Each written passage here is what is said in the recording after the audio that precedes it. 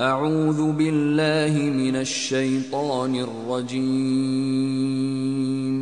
بسم الله الرحمن الرحيم Dan ingatlah ketika kami membelah laut untukmu, sehingga kamu dapat kami selamatkan dan kami tenggelamkan Fir'aun dan pengikut-pengikut Fir'aun, sedang kamu menyaksikan. Dan sungguh, engkau Muhammad akan mendapati mereka orang-orang Yahudi, manusia yang paling tamak akan kehidupan dunia bahkan lebih tamak dari orang-orang musyrik. Masing-masing dari mereka ingin diberi umur seribu tahun, padahal umur panjang itu tidak akan menjauhkan mereka dari azab. Dan Allah Maha Melihat apa yang mereka kerjakan.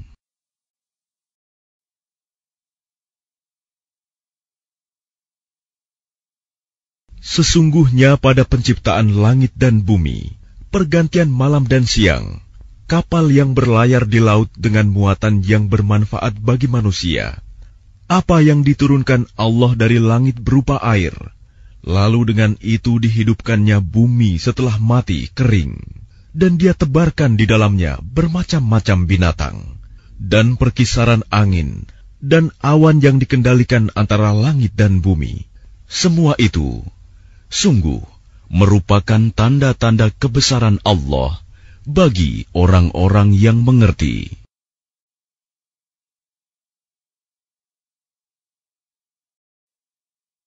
Dan kunci-kunci semua yang goib ada padanya. Tidak ada yang mengetahui selain dia. Dia mengetahui apa yang ada di darat dan di laut. Tidak ada sehelai daun pun yang gugur yang tidak diketahuinya. Tidak ada sebutir biji pun dalam kegelapan bumi, dan tidak pula sesuatu yang basah atau yang kering, yang tidak tertulis dalam kitab yang nyata, Lauh Mahfuz. Katakanlah Muhammad, siapakah yang dapat menyelamatkan kamu dari bencana di darat dan di laut, ketika kamu berdoa kepadanya dengan rendah hati, dan dengan suara yang lembut. Dengan mengatakan, sekiranya dia menyelamatkan kami dari bencana ini, tentulah kami menjadi orang-orang yang bersyukur. Dan kami selamatkan Bani Israel menyeberangi laut itu, bagian utara dari Laut Merah. Ketika mereka sampai kepada suatu kaum yang tetap menyembah berhala, mereka Bani Israel berkata, Wahai Musa, buatlah untuk kami sebuah Tuhan berhala, sebagaimana mereka mempunyai beberapa Tuhan berhala. Musa menjawab, Sungguh, kamu orang-orang yang bodoh.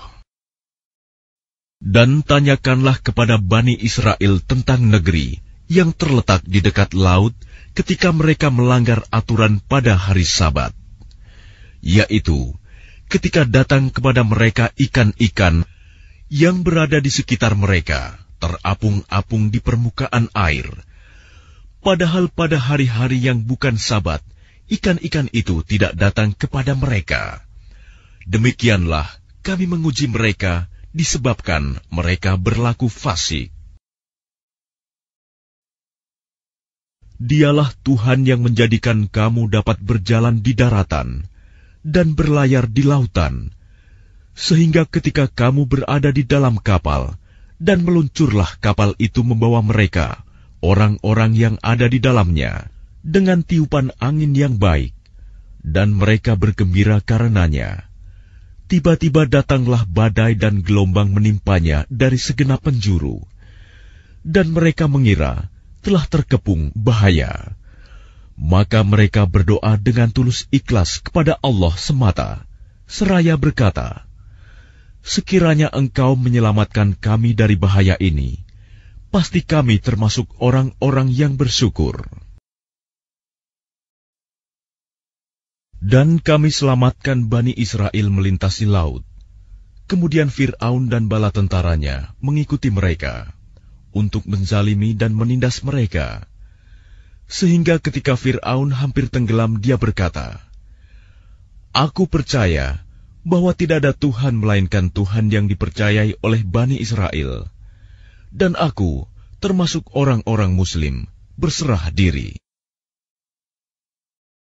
Allah lah yang telah menciptakan langit dan bumi, dan menurunkan air hujan dari langit. Kemudian dengan air hujan itu, dia mengeluarkan berbagai buah-buahan sebagai rizki untukmu. Dan dia telah menundukkan kapal bagimu, agar berlayar di lautan dengan kehendaknya.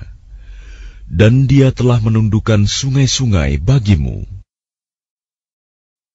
Dan dialah yang menundukkan lautan untukmu, agar kamu dapat memakan daging yang segar, ikan darinya. Dan dari lautan itu, kamu mengeluarkan perhiasan yang kamu pakai. Kamu juga melihat perahu berlayar padanya, dan agar kamu mencari sebagian karunia-Nya, dan agar kamu bersyukur. Tuhanmulah yang melayarkan kapal-kapal di lautan untukmu, agar kamu mencari karunia-Nya. Sungguh, Dia Maha Penyayang terhadapmu. Dan apabila kamu ditimpa bahaya di lautan, niscaya hilang semua yang biasa kamu seru, kecuali dia. Tetapi ketika dia menyelamatkan kamu ke daratan, kamu berpaling darinya. Dan manusia memang selalu ingkar, tidak bersyukur. Dan sungguh, kami telah memuliakan anak cucu Adam, dan kami angkut mereka di darat dan di laut. Dan kami beri mereka rizki dari yang baik-baik dan kami lebihkan mereka di atas banyak makhluk yang kami ciptakan dengan kelebihan yang sempurna. Dan ingatlah ketika Musa berkata kepada muridnya, Aku tidak akan berhenti berjalan sebelum sampai ke pertemuan dua buah lautan, atau aku akan berjalan sampai bertahun-tahun. Maka tatkala mereka sampai ke pertemuan dua buah laut itu, mereka lalai akan ikannya, lalu ikan itu melompat mengambil jalannya ke laut itu. Muridnya menjawab, Tahukah kamu tatkala kita mencari tempat berlindung di batu tadi? Maka sesungguhnya aku lupa menceritakan tentang ikan itu, dan tidak adalah yang melupakan aku untuk menceritakannya, kecuali setan, dan ikan itu mengambil jalannya ke laut dengan cara yang aneh sekali.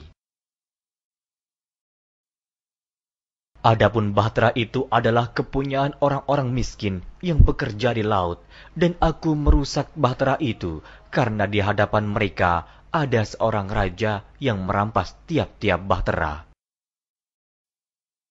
Katakanlah, kalau sekiranya lautan menjadi tinta untuk menulis kalimat-kalimat Tuhanku.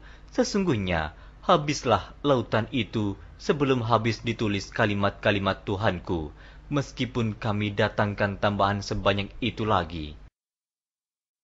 Dan sungguh, telah kami wahyukan kepada Musa, Pergilah bersama hamba-hambaku Bani Israel pada malam hari, dan pukulah, buatlah untuk mereka jalan yang kering di laut itu engkau tidak perlu takut akan tersusul dan tidak perlu khawatir akan tenggelam.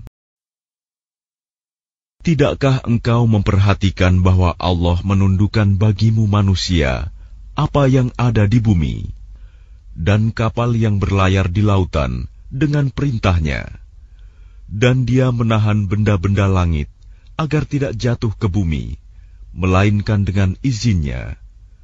Sungguh, Allah Maha Pengasih, Maha Penyayang kepada manusia. Atau keadaan orang-orang kafir, seperti gelap gulita di lautan yang dalam, yang diliputi oleh gelombang demi gelombang, di atasnya ada lagi awan gelap. Itulah gelap gulita yang berlapis-lapis. Apabila dia mengeluarkan tangannya, hampir tidak dapat melihatnya. Barang siapa tidak diberi cahaya, petunjuk oleh Allah, maka dia tidak mempunyai cahaya sedikit pun. Lalu kami wahyukan kepada Musa, Pukullah laut itu dengan tongkatmu, maka terbelahlah lautan itu, dan setiap belahan seperti gunung yang besar. Bukankah Dia Allah yang memberi petunjuk kepada kamu dalam kegelapan di daratan dan lautan, dan yang mendatangkan angin sebagai kabar gembira sebelum kedatangan rahmatnya? Apakah di samping Allah ada Tuhan yang lain? Maha tinggi Allah terhadap apa yang mereka persekutukan. Telah tampak kerusakan di darat dan di laut, disebabkan karena perbuatan tangan manusia. Allah menghendaki agar mereka merasakan sebagian dari akibat perbuatan mereka, agar mereka kembali ke jalan yang benar. Dan seandainya pohon-pohon di bumi menjadi pena, dan lautan menjadi tinta, ditambahkan kepadanya tujuh lautan lagi setelah keringnya, niscaya tidak akan habis-habisnya dituliskan kalimat-kalimat Allah. Sesungguhnya Allah Maha Perkasa, Maha Bijaksana. Tidakkah engkau memperhatikan bahwa sesungguhnya kapal itu berlayar di laut dengan nikmat Allah, agar diperlihatkannya kepadamu sebagian dari tanda-tanda kebesarannya. Sungguh, pada yang demikian itu terdapat tanda-tanda kebesarannya bagi setiap orang yang sangat sabar dan banyak bersyukur. Jika dia menghendaki, dia akan menghentikan angin, sehingga jadilah kapal-kapal itu terhenti di permukaan laut. Sungguh, pada yang demikian itu terdapat tanda-tanda kekuasaan Allah bagi orang yang selalu bersabar dan banyak bersyukur. Allah lah yang menundukkan laut untukmu agar kapal-kapal dapat berlayar di atasnya dengan perintahnya, dan agar kamu dapat mencari sebagian karunia-Nya, dan agar kamu bersyukur. Demi lautan yang penuh gelombang, miliknya lah kapal-kapal yang berlayar di lautan, bagaikan gunung-gunung. Dan apabila lautan dipanaskan,